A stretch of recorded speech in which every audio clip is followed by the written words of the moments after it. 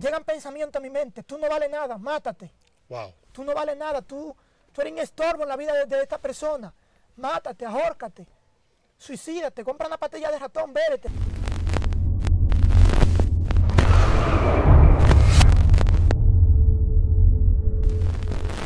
Cielos abiertos sobre tu vida, bendiciones de parte de la plataforma Excelencia Cristiana Televisión. Les habla su amigo y su hermano Dionis Luis, el cielo nos premia, nos galardona. Con el honor de poder ser de bendición para esta audiencia y para todo el pueblo, el, el engranaje que estamos viviendo y el tiempo que la generación está atravesando en este tiempo, donde una generación se está perdiendo, pero hay otra generación que está surgiendo, sacando jóvenes del anonimato y de esa generación Dios le permitió a Excelencia Cristiana ser parte. Y nosotros nos hemos puesto en la mano del Señor como plataforma de salir a los campos, grabar jóvenes con testimonios impactantes, poderosos, que sé que van a traer luz en medio de las tinieblas, que sé que van a traer respuesta en medio de tanto problema y en medio de la hecatombe que el mundo está viviendo. Creemos fielmente que la mano de Dios estuvo con nosotros, está con nosotros y estará todos los días con nosotros. Hoy nos encontramos en la zona de San Juan, sur profundo, aquí en los derrumbaderos. Eso es tremendo lo que Dios está haciendo en esta zona, un avivamiento impactante, poderoso, pero también fue una zona hostil, lleno de brujería, lleno de hechicería y jóvenes que vivieron en la santería y en el ocultismo. Dios los rescató y hoy en día han salido para testificar desde el lugar que Dios los sacó y hablando de la luz admirable del Señor Jesucristo en su vida. Dionis Luis quien le asiste en el día de hoy y tenemos la anuencia y el privilegio de tener acá un joven que trae un testimonio poderoso que sé que te va a nutrir, te va a impactar y va a bendecir tu vida de una manera poderosa y abundante. Quiero que él se presente a la audiencia. Dios te bendiga mucho, mi hermano. Amén, Dios te bendiga más. Mi nombre es Diego Terrero, me congrego en la iglesia La Verdad Os Hará Libre, mi pastora Sol Terrero, mejor reconocida como Rosy. Amén, amén, amén. Diego, tremendo lo que Dios ha estado haciendo. Escuché el background de todo lo que tú viviste. Bueno, parte de lo que viviste. Eh, yo sé que todo lo que viviste lo vas a contar ahora en, esta entrega de este video, de este testimonio impactante. Y quiero aperturar este testimonio y este tiempo de calidad que vamos a vivir en la presencia del Padre, preguntándote cómo inició todo. Me explicaste detrás de cámara que tu familia, eh, todo empezó desde muy pequeño y te querían adentrar profundamente, pero el propósito de Dios llegó primero a tu vida. ¿Cómo empezó todo eh, en cuanto a eso de la hechicería que viviste en la antigüedad? Bueno, todo empezó con mi familia principalmente. Y mi familia me dice que cuando yo era pequeño, el rey del agua fue, tuvo, depositó un sueño dentro de mi mamá y ella me vio en un sueño que el rey del agua se llevaba un trajecito que ella siempre me ponía. Y como a las 11 de la mañana el otro día, el rey del agua fue a buscarme. Y dice que no se me quitaba unos gritos. Y yo lloraba, lloraba y lloraba. Y aún así pasó el tiempo y cuando yo tenía ya como dos o tres años, empezaron a enseñarme lo que era el ensalmo, ensarmar a la persona. Y ensarmar a la persona, usted incluso usted llegaba a mi casa con un brazo de compuesto y usted me ponía que yo le ensarmara y yo le ensarmaba y usted se la con su brazo bueno. Wow. Pero mientras yo puedo investigar o mientras yo puedo ver ahora desde el punto de vista que yo puedo ver ahora, no era el ensalmo, sino es un masaje. Un masaje según lo que yo he podido investigar. ¿Por qué? Porque la santería, el ocultismo y todo eso, todo eso prácticamente no es del agrado de Dios. Amén. Terrible, terrible, mi hermano Diego. Es importante, es impactante también explicar eh, acerca de cosas que viviste, que la audiencia no maneja ciertos términos, eh, tales como el rey del agua. ¿Quién era el rey del agua? ¿A qué se especifica? El reino de las tinieblas y la santería cuando se hace mención de ese espíritu del rey del agua. ¿Quién era y de qué estaba encargado? Ese es un demonio que se encarga de, de, de los ríos. Ahí se le ofrecen sacrificio a él en los ríos, en las cabezas de agua. E incluso se hacen prillé. Wow. Para que, ya sea para, para vender niños o para comerse a los niños. Dios mío. O sea que esos prillé, eh, ese espíritu estaba encargado de que los niños fueran sacrificados para el reino de las tinieblas eh, en los prillé y en todo lo que se, se hacía, se ejecutaba concerniente a ese espíritu. Ahora bien, explicaste de tu familia, de que tu familia también vivió en la santería. Cuenta, an, antes de empezar a hablar de ti, quiero que cuentes un poco acerca de lo que vivió tu familia y de lo que viste como manifestación dentro de tu casa y en los familiares que tú estuviste. Allá en mi casa vi que mi abuela siempre compraba refresco, galletas y le ponía a los cuadros. Y cuando ella dejaba de hacer eso y dejaba de ponerle esos refrescos, eh, empezaba a hablar lengua, pero no lengua angelical, sino lengua de demonios. Wow. Y se le olvidaban cosas y perdía el conocimiento.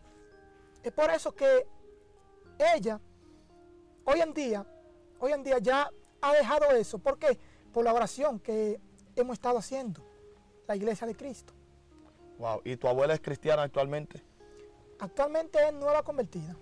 Tremendo, qué bendición, qué bendición, mi hermano. Es importante ver cómo la iglesia ha estado ganando terreno, ha estado ganando la batalla, a pesar de todo lo que han vivido las familias, de los pactos, las brujerías, la hechicería, cómo la familia ha estado viniendo a los pies del Señor. Increíble, impresionante es el Señor. Eh, tu familia, al venir entonces de ese mundo de ocultismo, eh, intentó resguardarlo ustedes, le pusieron resguardo a los familiares, a los nietos, a los hijos que, que estaban viviendo contemporáneamente en ese tiempo. Bueno, mi abuelo no permitía que nos diesen resguardo, pero yo creo que sí, porque desde que una persona hace un pacto generacional con su familia, ya lo está resguardando con principados, con demonios, para que vengan a su vida y tomen posesión de esa persona. Wow, increíble mi hermano, increíble y poderoso lo que estás contando. Entonces ahora empezamos contigo. Me dices que todo empezó ya cuando tenía dos años, eh, empezó a fluir todo en tu vida de una manera ya evolucionada en cuanto al ocultismo. Entonces empieza a relatar ahí mi hermano sobre todo lo que has vivido y todo lo que te han contado que viviste cuando tenía dos años, porque valga la redundancia, usted no, no recordaba la edad, no recordaba, alguna, eh, no recordaba algunas cosas que le llegaban a su cabeza debido a la edad tan menor que tenías en ese tiempo. Cuéntanos acerca de las cosas que viviste o que pasaste como niño en ese tiempo. Bueno, a mí prácticamente me estaban inculcando en el camino de la brujería. E incluso me llevaban a donde brujos y me, y me ponían a pecar, en pocas palabras, contra mi hermano. Me decían que yo era una persona que, que lo- lo- los cuadros me cuidaban, los demonios me cuidaban y que me decían que yo tenía, que yo iba a ser una persona de bien, que tenía que poner un altar. Incluso yo hasta me dejé llevar y quería poner un altar, pero no lo puse por la misericordia de Dios. E incluso que cuando esa persona, basada en la brujería, me llevaban y me, me, me estaban inculcando, me estaban enseñando a blasfemiar contra los vecinos, contra los, primos y contra, los, contra cualquier persona, levantar un falso testimonio. ¿Por qué? Porque la brujería trata de- de la mentira, principalmente. E incluso que si una persona va ante un brujo y va con una enfermedad, dice, no, es tu vecino que te tiene así. ¿Por qué? Porque dice que el ladrón no vino sino para matar, hurtar y destruir. O sea que el plan de ellos es ponerte en contra de los mismos humanos, del mismo prójimo. Es ponerte en contra de ellos para poder esconderse y empezar a brujear y hacer cosas extraordinarias en contra de tu vida. O sea, cosas paranormales, cosas fuera de raciocinio humano. Entonces, em, ¿cómo fue evolucionando ese espíritu en ti? Y la persona que te estaba adiestrando en ese momento, ¿qué tipo de persona era? O sea, ¿qué parentesco familiar tenía contigo? Bueno, era mi abuela. Me trataba de llevar de personas que sabían de brujería. E incluso cuando yo era pequeño, que como le dije ahorita, cuando yo era pequeño, como de dos años, vino un pastor llamado Samuel a la iglesia, no a la que me estoy congregando, sino a la iglesia que está cerca de mi casa, que se llama Asamblea. Y cuando él vino, me estaban inculcando la palabra de Dios. Y mi familia me estaba inculcando también lo que era seta católica. Wow. Y ahí estaba entonces, como dice la Biblia, claudicando entre dos pensamientos. Y me, me acabé de criar así, claudicando entre dos pensamientos. Cuando tenía una edad más avanzada, como de, de, de 10 a 11 años, yo iba a la iglesia, a otra iglesia que se llamaba Iglesia Pentecostal, la raíz de Isaí. Y ahí, cuando yo decido la, la, la, tomo la decisión de convertirme, yo siento que de mi corazón sale algo y siento un vacío. Yo digo, wow, ¿qué, qué es lo que pasa? Esto es extraño. Y cuando siento ese vacío, me siento vacío, me siento seco. ¿Por qué? Porque los espíritus de la tiniebla hubiesen abandonado la casa. E incluso que cuando, cuando pasó un tiempo, yo me, deca, me descarrío, tomo la decisión de descarriarme y ahí empieza todo. Wow. Entonces, cuando tomas la decisión, antes de empezar to- eh, ahí con, con- después de descarriarte, yo quiero hacerte una pregunta. eh, porque yo sé que ya va a ser algo más fuerte lo que vas a contar después de ahí, porque ya estamos entrando al plano del, del conocimiento empírico, al plano del conocimiento eh, secular que cualquier hombre puede tener de raciocinio humano. Ya tu psique mental estaba funcionando. Pero siendo niño, eh, fuiste a algunos altares de brujería, fuiste a algunos altares de hechicería que te llevaban. Eh, ¿Cuál fue la operación que viste de esos brujos, de esos hechiceros en estos centros que te llevaban como niño? Ahí pude ver que se trabajaba, se trabajaba brujería actualmente, pero era para, para, para el bien de ellos, por así decirlo. ¿Por qué? Porque yo pude ver y pude entender, aún siendo niño, que los ídolos, los cuadros no tenían poder. Aunque sí lo hacía, sí lo hacía lo, lo que era lo, lo- lo del pacto de brujería, con conocimiento, pero no quise, no quise seguir a Dios en ese momento porque me sentía obligado, mi- mis abuelos me obligaban a que siguiera lo que es el camino de, de- de- la brujería. Y Wow. pude ver cómo, cómo sacrificaban ahí lo, lo- lo que es, lo que es, mire, yo eso es algo profundo, yo pude ver ahí lo- lo- los platos, los mismos, los mismos platos de, de la menta y todo eso, y lo que es el refresco de tapado. Yo creo que ese mismo sacrificio es que le dan el día que hacen su velada a la persona. Wow, tremendo, tremendo. ¿Y cuál era la forma que operaban esos brujos, esos hechiceros ahí dentro de esa, de esa consulta cuando tú llegabas? ¿Llegaste a ver cómo se manejaban, cómo operaban ellos? Ahí pude ver cómo leían la baraja y prendían vela y invocaban su demonio. Wow, terrible, mi hermano. Entonces, una vez ya después de haberte descarriado, eh, explica de qué empezó todo ahí concerniente a la hechicería y a todo lo que viviste en el ocultismo. Cuéntanos acerca de esto. Cuando antes de yo descarriarme llegó allá un brujo y empezó a decir que nosotros le servíamos a los ángeles negros Wow, porque le servíamos a Jehová. Y él decía que Jehová es el líder de los ángeles negros. Y él decía que a él cuando se le predicaba, que se le daba ya sea un librito o una Biblia, él la agarraba y la quemaba. ¿Por qué? Porque son gente que son, son incrédulos, no creen nada en Dios.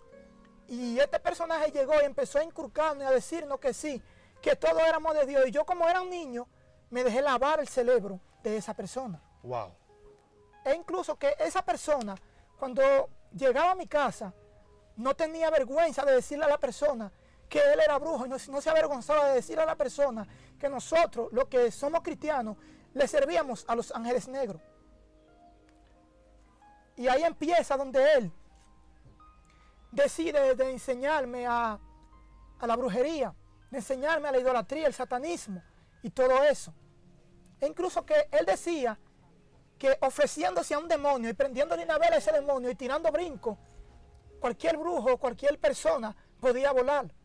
wow. Pero yo pienso que no, que no puede ser así. ¿Por qué?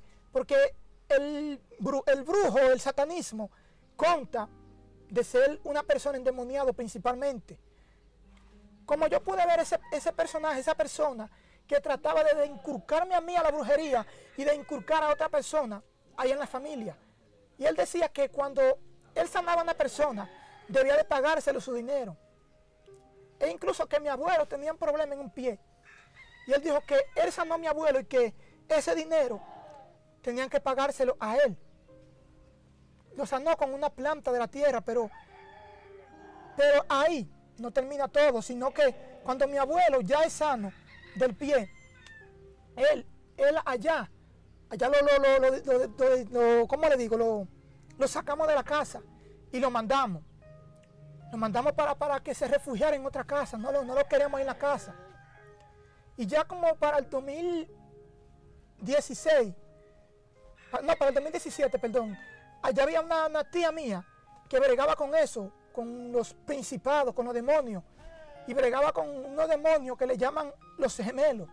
Y ella se volvió loca actualmente, bregando con eso. Y cuando ella se vuelve loca, la persona que nosotros hemos botado de la casa, el mismo brujo, vuelve a la casa y nos dice que sí, que él puede sanarla. Y cuando él dice esto, se investiga un fuete y empieza a darle fuetazo a la casa. Y dice que sí, que él la está sanando. Wow. O sea, con un látigo le daba a la casa. Sí, y decía que sí, que la estaba sanando. Wow. Y no sabía que mientras le estaba dando el latigazo a la casa, le estaba, le estaba dando latigazo al alma de ella porque no duró ni cuatro semanas viva. En- en- a partir Dios de las tres mío. semanas murió. A partir de las tres semanas tuvimos que ir a enterrarla porque ya hubiese muerto. O sea, que él fingió que la iba a sanar y la terminó matando. matándola. Entregó su arma a- al demonio. Wow. O sea que para él poder acabar con la vida de esa tía tuya, él tuvo que acceder por medio de una legalidad que ustedes tenían que abrir. Si ustedes no le daban el paso, él no podía entrar para acceder al plan que él tenía. No, porque él- es como él, usó el permiso, el permiso, el permiso legal. Ujú. En el- espiritualmente hablando, el permiso legal él usó para sacar, sacarle esa alma al cuerpo, para que pueda caer al infierno. Wow. Porque yo hallo, yo, yo hallo que el mismo enemigo fue quien lo llevó a él. Porque mientras tanto, ella hubiese llegado a la casa, él no hubiese llegado. Ahora, cuando ya la, la, la persona se vuelve loca, ahí él va y llega a la casa. Como el mismo enemigo avisándole de que fuera, porque si se dejaba más tiempo, se iba a sanar y podía dar el paso del arrepentimiento. Wow, tremendo, mi hermano, tremendo. Una pregunta. ¿Y cómo ustedes se dieron cuenta que esos latigazos que él le daba a la casa era la tía tuya que se lo estaba dando? La Biblia dice que lo que no entenderemos ahora lo entenderemos después. Sí. Ahí yo era inconverso, pero tenía mi conocimiento.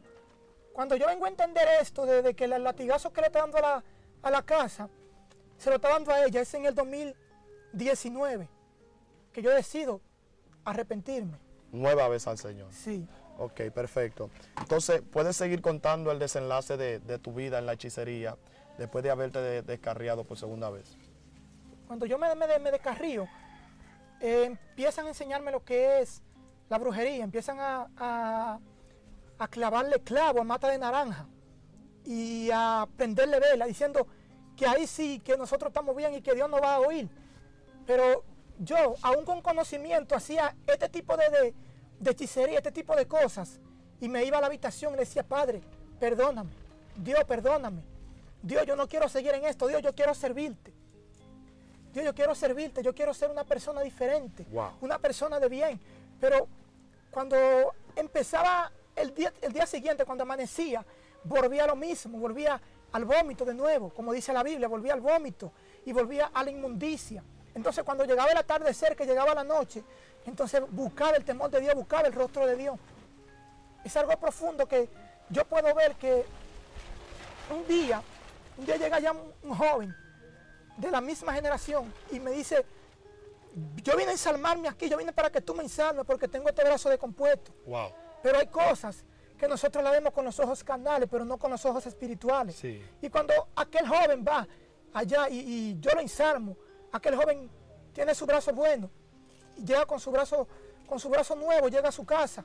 Y en la escuela, porque estábamos juntos en, el mismo grado, en la escuela me di de cuenta que fue que le dio una pedra a un mudo. Y el brazo se le fue así. Y el brazo se le decompuso. Y cuando cuando estoy ahí dos días después, estoy desarmando un teléfono y esos cuatro dedos se me, se me cortaron porque pagué la consecuencia de ese pecado.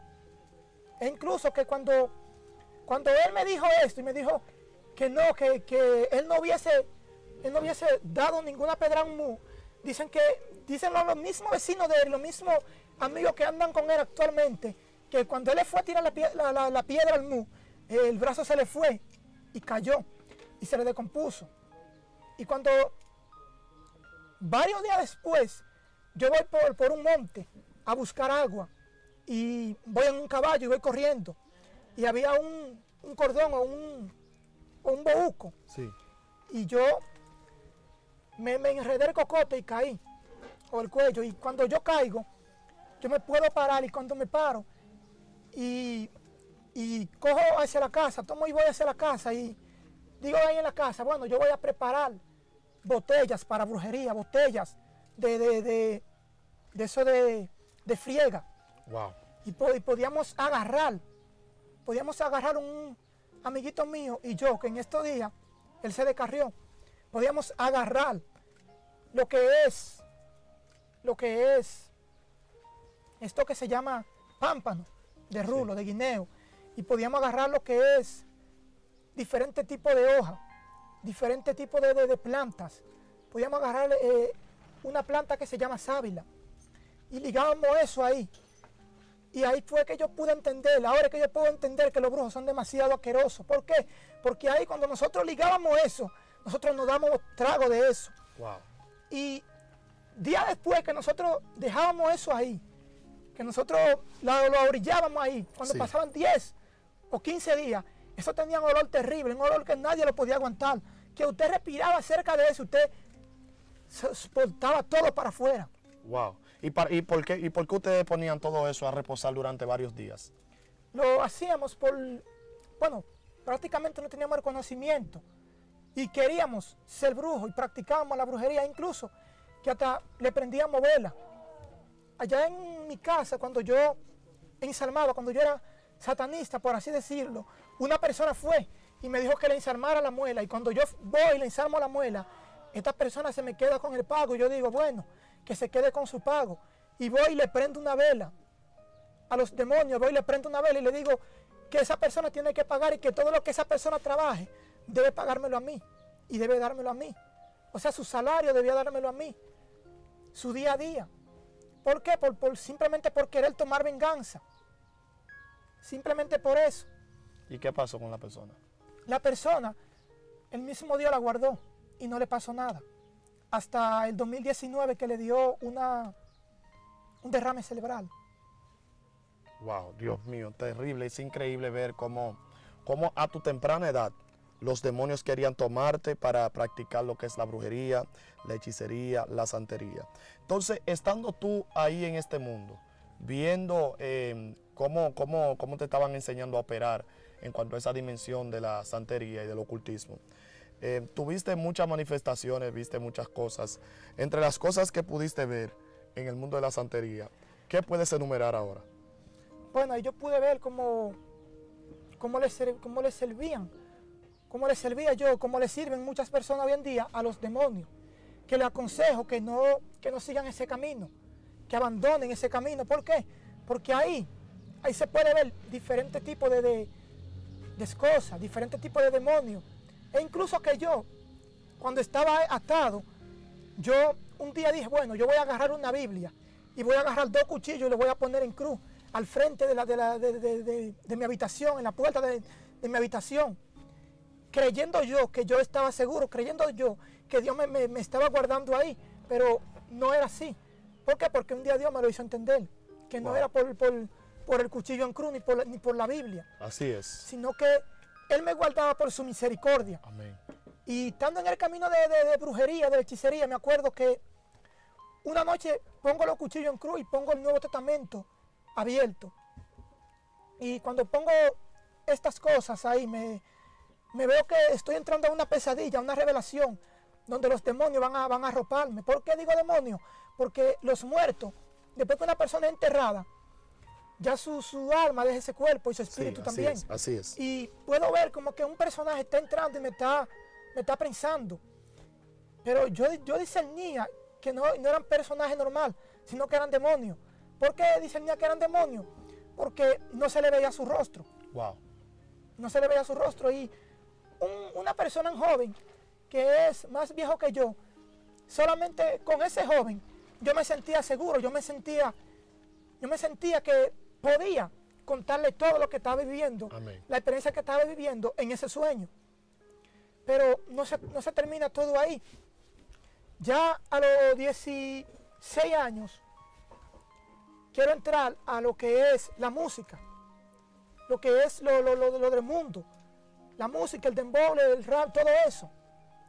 Y cuando quiero entrar a todo esto, que ya estoy entrando al mundo de la música, estoy grabando, e incluso tomé el nombre de un artista que es cristiano, que se llama J.A. Y yo tomé ese nombre y empecé a grabar música. Que yo creo que el amigo mío y yo, el que estábamos grabando la música y yo, tiene la música por ahí grabada todavía. Y dice Y yo, yo pensé que lo estaba haciendo bien y cuando estaba grabando la música, ya a los dos meses llegan pensamientos a mi mente, tú no vales nada, mátate. Wow. Tú no vales nada, tú, tú eres un estorbo en la vida de, de esta persona. Mátate, ahórcate, suicídate, compra una pastilla de ratón, béretela. Dios Pero, mío. ¿qué yo hago en ese entonces? En ese entonces yo voy a Santo Domingo con mis abuelos. Y cuando voy a Santo Domingo con mis abuelos, allá había una iglesia cercana, hay una iglesia. Es por ahí, por, por el barrio de los Mameyes. Y hay una iglesia y cuando yo iba a esa iglesia o escuchaba los mensajes, yo escuchaba que decían, Cristo cambia, Cristo liberta, Cristo puede restaurarte. Y yo sentía como una presencia, una yo, no, yo no conocía, pero sentía como una presencia de, de al santo, aleluya, gloria a Dios. Wow. Tremendo. Pero no lo hacía. Cuando llega ya el tiempo de que nosotros tenemos que, que venir, vuelve el pensamiento a mi mente, mátate, tú no vales nada, suicídate. Tú eres una persona que eres un estorbo, tú, tú no vales nada. Quítate la vida, quítate la vida, quítate la vida. Yo lo que pensé fue, dije, bueno, yo lo que voy a hacer es que me voy a convertir y me voy a quitar la vida. Pero cuando yo digo esto, sin tener el conocimiento pleno, continu- continué en el mundo de, de- de lo que es la idolatría, la hechicería. Dios mío. Continuaba. O sea, te había descarriado una primera vez y ahora quisiste convertirte y te volviste de nuevo a continuar en el mismo mundo donde estaba. otra vez volví atrás y volví al mismo mundo. Ahí cuando ya llega el mes de diciembre, mi, mi madre me dice, tiene que venir a Santo Domingo, tiene que venir. Y cuando yo voy a Santo Domingo, que estoy allá, un 31 de diciembre, 31 de diciembre del 2018, yo veo una sierva que está clamando y la escucho clamando. Y ella está clamando, Padre, quiero almas nuevas en este año. Wow. Quiero almas que vengan al arrepentimiento. Y yo lo que decía en mi mente era, pero ¿qué es lo que esta sierva está hablando? ¿Qué es lo que esta mujer está hablando? Dios yo no puedo entender nada. Y cuando llego aquí, ya como para el 25 o para el, 20 para el, 20 para el 21 de enero, empiezo a ir a la iglesia. Y cuando empiezo a ir a la iglesia, yo no me convierto de una vez. Cuando llega ya el 26 de enero, ahí tomo la decisión de arrepentirme. Dios mío. Y- O, sea, o sea, que tomaste la decisión de arrepentirte ese día justamente. El 26 de enero, sí. Y cuando me, Wow. me- cuando me arrepiento, que ya yo soy una persona diferente de ese, de- de ese día para acá, cuando yo me arrepiento y tomo la decisión, esa misma noche mis padres me dejaron fuera de la casa. Me dijeron como que, que ellos buscaban dando a deshora de la noche. Pero cuando yo estaba por ahí en el mundo de, de- del dembow y de, y de la brujería, no me decían nada.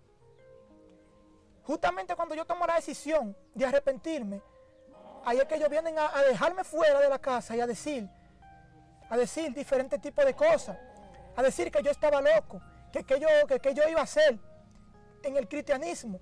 Incluso mi abuela, aún siendo bruja, en pocas palabras por decirlo así, me decía que sí, que yo tenía que convertirme. ¿Por qué decía que yo tenía que convertirme? Porque ella sabía, ella sabía, tenía conocimiento de la Biblia. Wow. E incluso que ella, aquí en este pueblo se hacía campaña antes, ella iba a esa campaña y ella no se convertía. Y ella decía que cuando empezaban a cantar los himnos, que la persona sentía la presencia, que ellos caían, pero que ella no se convertía. Wow. ¿Por qué? Porque es una atadura terrible, una atadura que viene de generación en generación. Hasta que una persona, Dios lo toca, Dios lo llama y decide romper ese pacto generacional a través de esa persona. Wow. Increíble, mi hermano, increíble, impresionante es el Señor. Y ver cómo Dios todavía lo sigue haciendo contigo, lo sigue haciendo con tu familia, lo sigue haciendo con tu abuela. Sé que hoy por hoy estás de pie, no porque la brujería quiso, no porque la santería quiso, no porque tú tengas habilidad, ni porque tú tengas fuerza. Estás de pie porque el propósito no muere cuando el enemigo diga. Amén. Amén. El, el propósito no muere cuando el diablo diga ni cuando diga el infierno. El propósito muere cuando el propósito lleve a cabo su responsabilidad en esta tierra. Entonces, mi hermano, eh, ya sobre todo lo que estás hablando y sobre todo lo que has vivido, sobre todo lo que has pasado, eh, cabe destacar que hay dimensiones y hay niveles de hazañas acontecidas en nuestra vida. Y por ejemplo, en este mundo que viviste pasado, yo te pregunto, ¿cuál fue la manifestación más mortal, letal, peligroso que has podido ver en el mundo de la hechicería? Ahí aparecen diferentes dimensiones. Por ejemplo, la más mortal, la más peligrosa es, en mi punto de vista, desde que una persona empieza a ofrecérsele a este tipo de, de, de demonios, a demonios de, de alto rango, a demonios que en otra dimensión, en pocas palabras, ya lo que quieren es procurar su alma y llevarla al infierno. Wow. ¿Llegaste a ver esa dimensión en, en- en personas mientras estabas en este mundo? Bueno, prácticamente he escuchado, pero llegarla, llegar a vivirla no. Wow. ¿Y, y cuáles, son- cuáles han sido las manifestaciones que usted ha visto, que te han sorprendido, que te han marcado, que tú has dicho, wow, no sabía que eso era así, pero que te han dejado con una secuela, que te han dejado con un pensamiento y has dicho, Dios mío, este mundo es más peligroso de lo que yo puedo pensar? ¿Cuáles han sido esas manifestaciones que has visto? Cuando yo era de la religión adventista del séptimo día, que ahí yo podía ver, como ellos decían, no, que no se podía comer lo que es el cerdo, lo que es el salami y muchos varios alimentos. Yo, en ese tiempo se murió un señor allá en, en mi barrio Sí. y allá yo, yo pude ver que se manifestó un demonio. Y ese demonio decía, yo me voy, yo me voy, yo me voy porque tengo que irme, mi- este no es mi lugar. Y a través de ese joven, a través de ese joven, ese demonio hacía cosas que no, que no eran del agrado de Dios. Yo sentía que no eran del agrado de Dios. Wow. Yo sentía que eso era otra dimensión, ¿cómo le digo? Demoníaca. ¿Por qué? Porque ahí se puede, se puede sentir, se puede ver, se puede sentir en el ambiente cuando está pesado, aunque uno no sea cristiano todavía, pero yo podía sentir en ese entonces como, cómo era ese ambiente y cómo ese joven quería incluso hasta desbaratar la ataúd Wow. de esa persona. Y yo pude ver y pude, y pude, pude discernir y pude decir en ese momento, si esto es así y si esto continúa así, si esto continúa así, yo voy a ser una persona de más alto nivel en este, en este, en este, en este, en este, ¿cómo le, cómo le, le expreso? En esta dimensión, En en esta este- vida de la hechicería. exactamente. O sea que estás hablando de que la persona, al estar poseído, quería sacar al muerto del ataúd. Exactamente. Quería sacar al muerto del ataúd y como desbaratar el ataúd. Pero que yo no tuve la oportunidad de verla hasta el fin. ¿Por qué? Porque mi abuela y yo no tuvimos que ir hacia la casa. Y lo que estaban ahí, lo que cuentan, dicen que después que nosotros nos fuimos, fue que esa persona empezó. Fue que esa persona empezó a pedir agua, a pedir café y a pedir diferentes tipos de cosas. Eh, ¿Para qué? Para, para, para, como para dañarse diferentes partes de su cuerpo. Ok, en el conocimiento que albergaste o que obtuviste dentro de lo que es el marco de la hechicería, eh, ¿por qué se manifestó ese espíritu en ese cuerpo para tratar de sacar ese muerto? ¿Cuál era la operación que querían ejercer los demonios eh, al tomar esa acción sobre el cuerpo de ese, de ese muchacho para sacar ese muerto? Yo creo que ese, ese muerto, él lo quería sacar, el demonio quería sacar ese muerto de ese ataúd. Era porque quizá el muerto llevó o le ofreció algo al demonio y no se lo pudo cumplir. Entonces cuando él muere, que este muchacho se cae endemoniado, que quería desbaratar el ataúd, cuando él muere, que él quería desbaratar el ataúd, este, este demonio toma posesión del pacto generacional que este hombre le hace a toda su familia. ¿Por qué? Porque el joven era su nieto. Y O ahí sea- se, pudo, se pudo ver el pacto generacional Wow, o sea que el Señor había muerto con deudas. con deudas, exacto, en el mundo mío. de los espíritus, en el mundo espiritual. E incluso que cuando, cuando una persona muere, puedo recordar, como le, como le dije ahorita, de dos años murió una tía mía. Y, y- y ahí siempre, siempre, siempre en ese velorio tenían que, que llevar una persona a rezar y a tocar palo. Y cuando llevan a esta persona, lo- la persona se le, se, se le se endemoniaban todo. Lo que los demonios podían endemoniar ahí, caían endemoniados, caían, caían dando vueltas, pidiendo agua, café, pidiendo de todo, lo- de todo un poco, chocolate, pidiendo de todo un poco, de todo lo que, lo que pudieran Wow. hacer en ese velorio. Pero no para ahí, porque cuando, cuando una persona, una hermana de, de, de la, de persona que caían, dijo, yo no voy a caer porque yo soy una persona fuerte. El demonio tomó posición de esa persona y empezó a decirle, yo soy fulano de tal, yo soy tu madre, yo quiero que tú me dé agua, yo quiero que tú me vayas como al cementerio y como que la acaricie. Wow.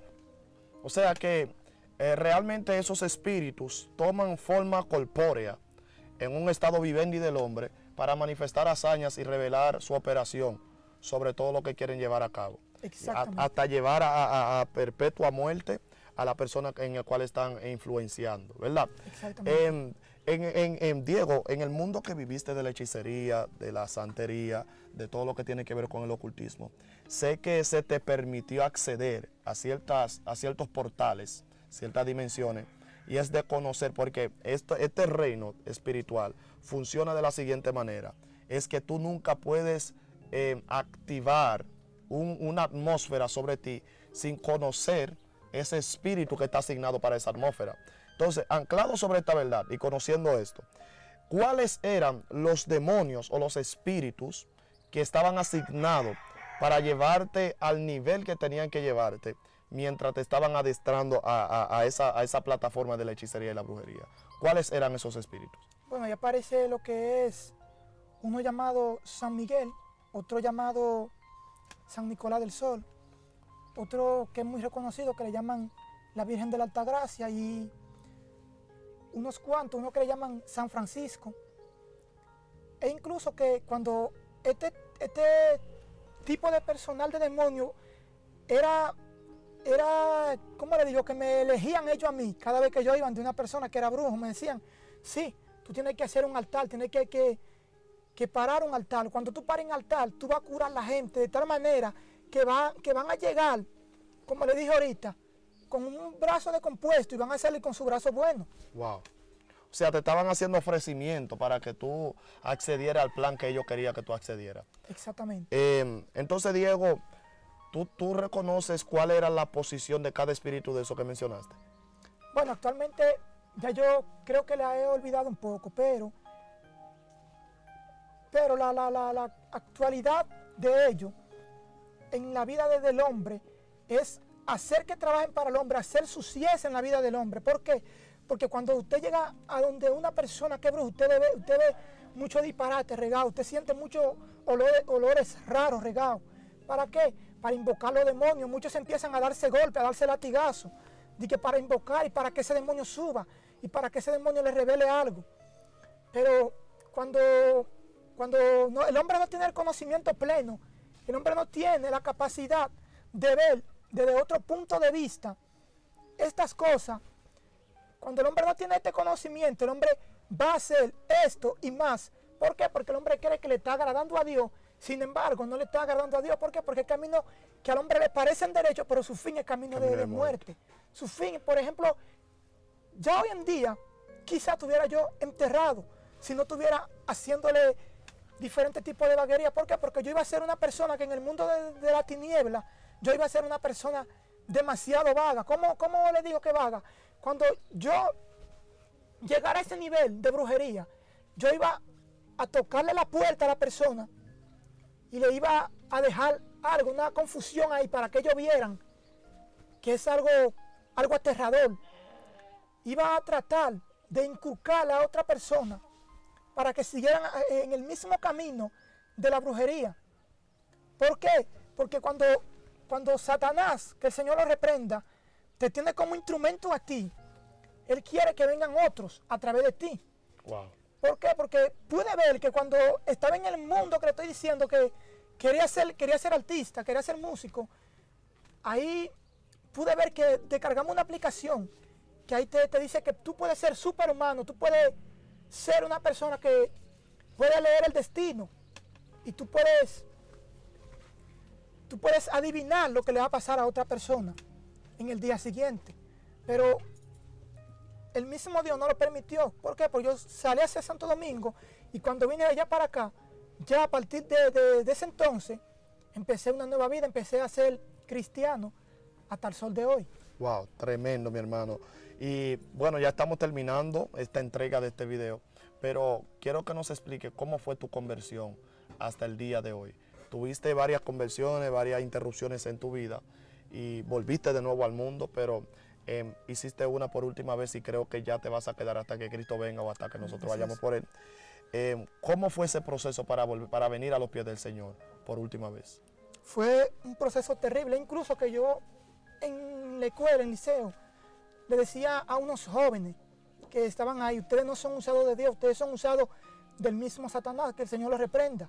Y empezaba, incluso hasta la, la- la comida les movía. En el horario de comida les movía la comida del comedor y empezaba a atacar a estos jóvenes. ¿Cómo usted le movía la comida? Le, le movía la comida como para que se le botasen y no comieran. Me dejaba usar de una forma tal del enemigo Dios mío. que quizá en este tiempo, quizá hoy en día, si no estuviera muerto, ya hoy en día yo fuera una persona que pudiera transportarme de un país a otro, tal vez. Wow. Porque ya te, estaba- te estaban usando a un nivel donde tú tocabas cosas sin ponerle la mano. Ya donde tú tumbabas cosas sin ponerle la mano. Terrible. O sea, ya para ese tiempo tuvieras, tuvieras tú bien atado por el enemigo o tuviera muerto porque el enemigo no desaprovecha una oportunidad para acabar con la vida de alguien. Continúa.